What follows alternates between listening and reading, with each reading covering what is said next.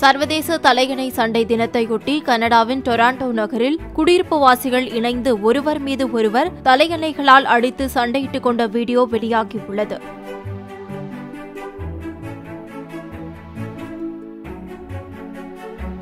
ஒவ்வொரு ஆண்டும் ஏப்ரல் மாதத்தில் வரும் முதலாவது சனிக்கிழமை அன்று சர்வதேச தலையணை சண்டை தினம் பல்வேறு நாடுகளில் கொண்டாடப்பட்டு வருகிறது. இதன்படி நேற்று அமெரிக்கா கனடா உள்ளிட்ட உலகின் பல்வேறு நாடுகளிலும் தலையணை சண்டை கொண்டாட்டங்கள் களை கட்டின.